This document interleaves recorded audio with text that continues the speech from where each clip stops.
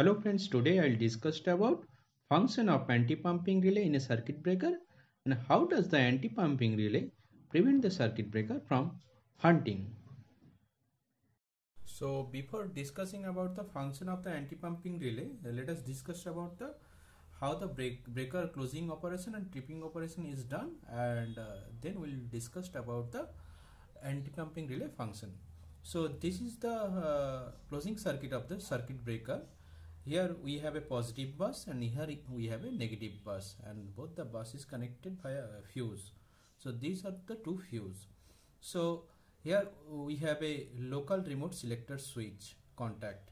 So this is the contact for uh, local uh, contact uh, that is from which the local operation of the circuit breaker uh, can be done and here the contact is for remote operation of the circuit breaker and here is the local TNC switch. That is trip neutral close uh, switch contact.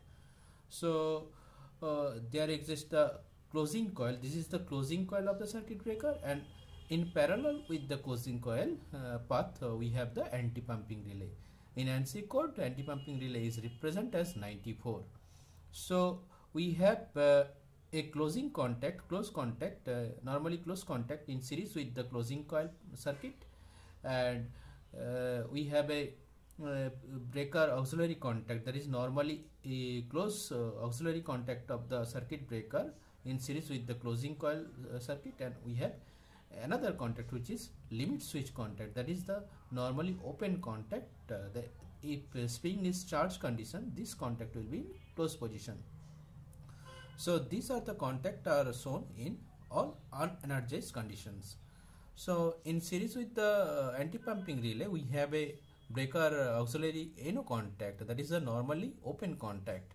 And with this uh, contact we have a, a, parallel with this parallel we have a, another contact. That is anti-pumping relay contact uh, this is normally open contact. All the contact are shown in uh, unenergized contact. So these are the closing circuit of the circuit breaker.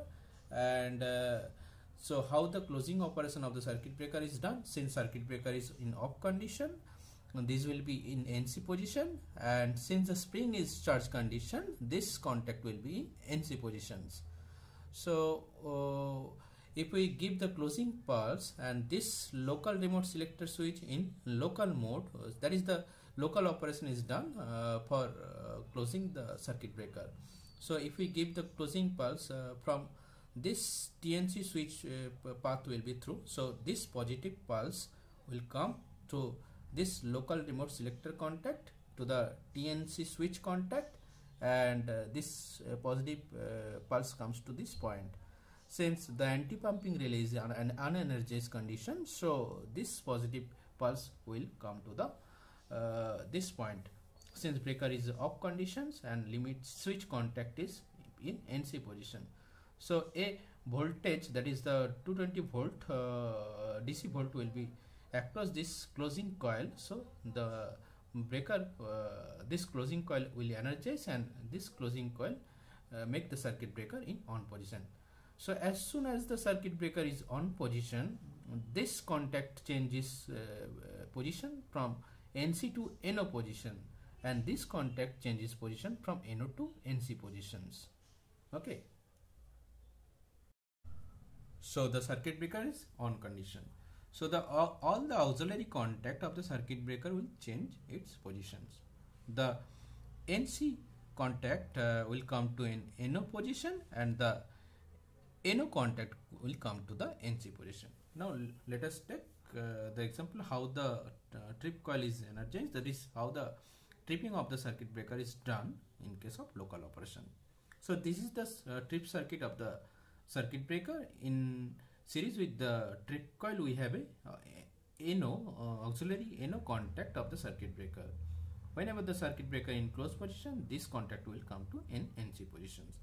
So this is the trip neutral cl close uh, contact. That is the tripping contact of the uh, TNC switch and this is the local remote selector switch contact in local position whenever a local position this contact will be through and this is the local remote uh, selector switch remote contact so in order to uh, local operation of the circuit breaker tripping operation. So if we give the trip pulse from the TNC switch, the DC pulse will come uh, to the local remote uh, selector uh, switch contact via TNC switch contact uh, to the come to this position. Since this auxiliary contact in NC position due to the circuit breaker is on position, the trip across the trip coil at 220 volt DC voltage will drop since as soon as the trip coil is uh, get this voltage the trip coil will energize and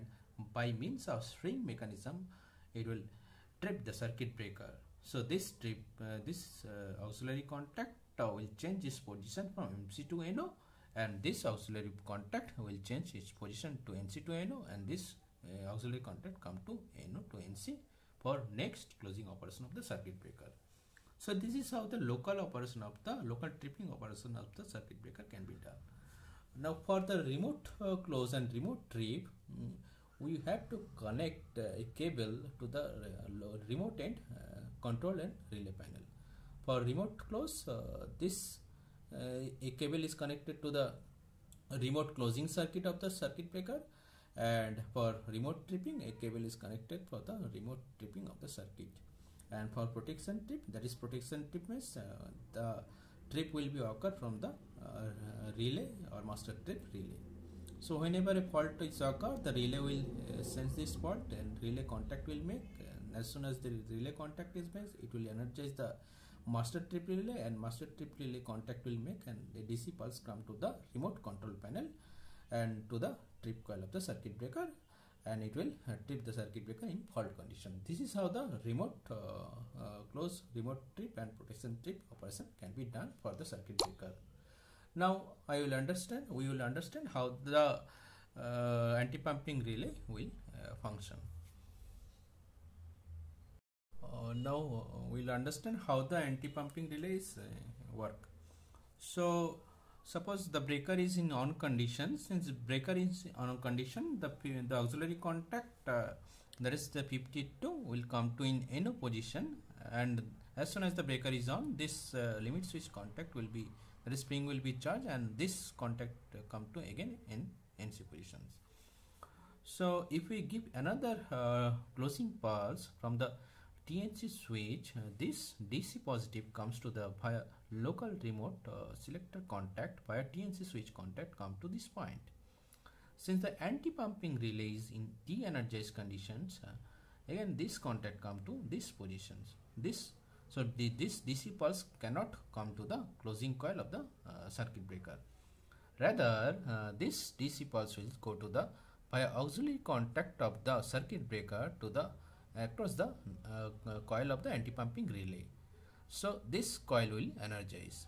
So as soon as this coil is energized, the auxiliary contact will change its states from NO to NC positions. That is, the this auxiliary contact uh, come to in NC position and this auxiliary contact in come to in NO positions. Okay.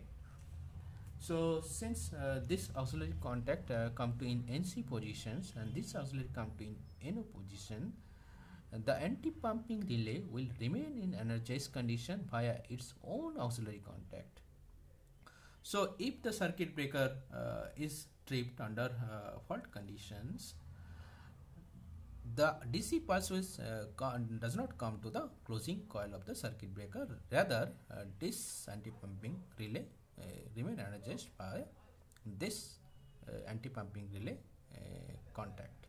So this is the function of the anti-pumping relay. So anti-pumping relay prevents the multiple pulse uh, to the uh, closing coil of the circuit breaker.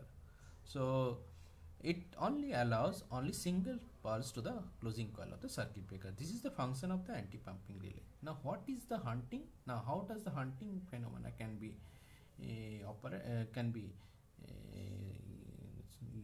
happen in case of circuit breaker?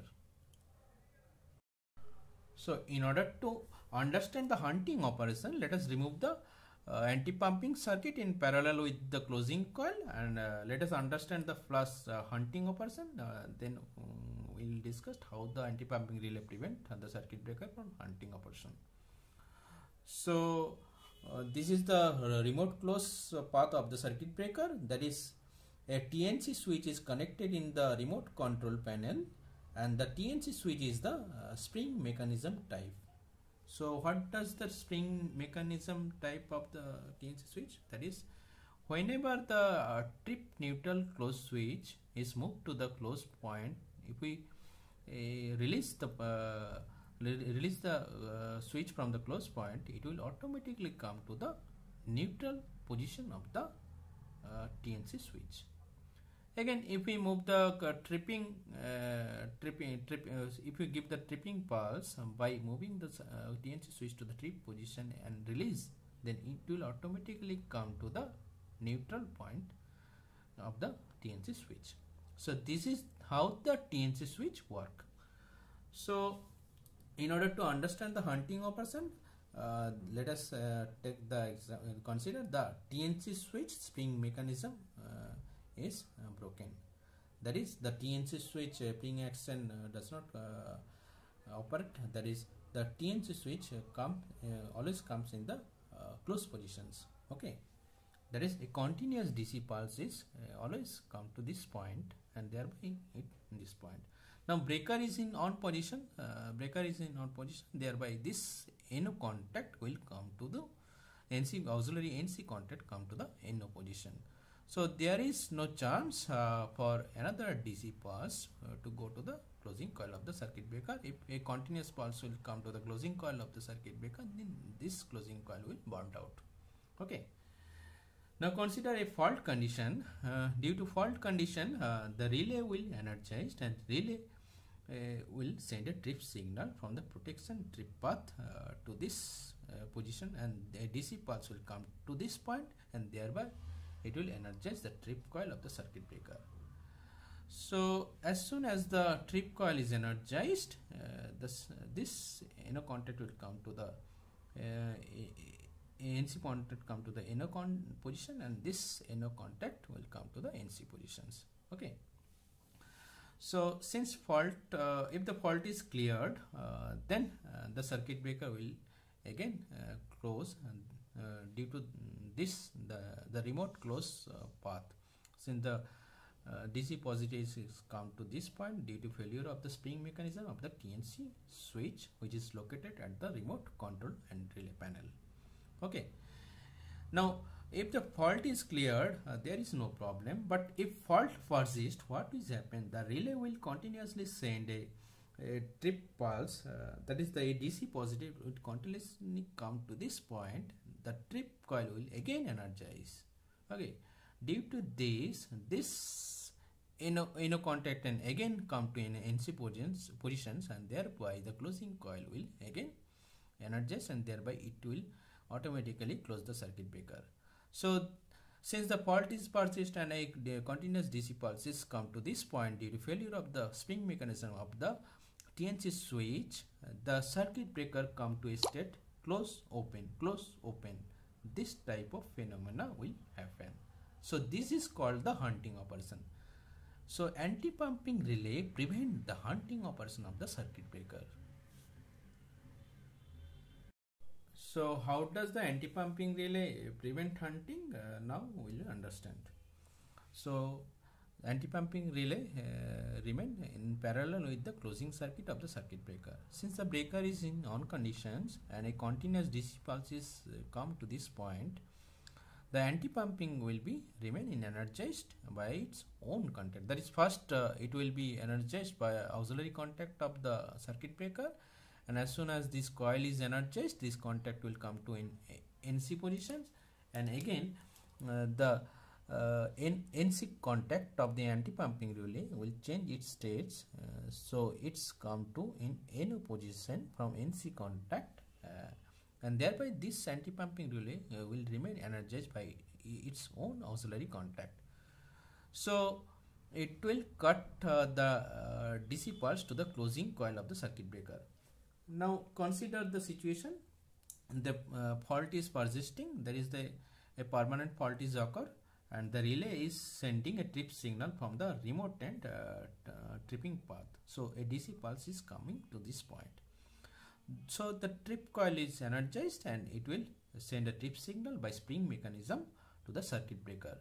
So the circuit breaker will be tripped as soon as the circuit breaker is tripped this auxiliary contact come to NC positions and this auxiliary come to in NO position and a continuous DC pulse is, is, is going through this path. So as this anti-pumping relay is energized by its own auxiliary contact and this any uh, auxiliary contact of the anti-pumping relay come to in NO position thereby this anti-pumping relay prevent the another DC pulse to the closing coil of the circuit breaker and thereby it will prevent the hunting operation of the circuit breaker in fault conditions. So this is how the anti-pumping relay prevent hunting operation of the circuit breaker.